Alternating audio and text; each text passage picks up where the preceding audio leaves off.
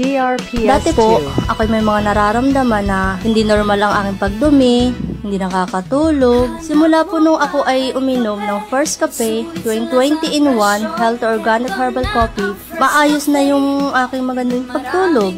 Normal lang ang aking pagdumi. At saka, masarap siyang inumin. Maraming salamat po sa First Cafe 20 in 1 Health Organic Herbal Coffee.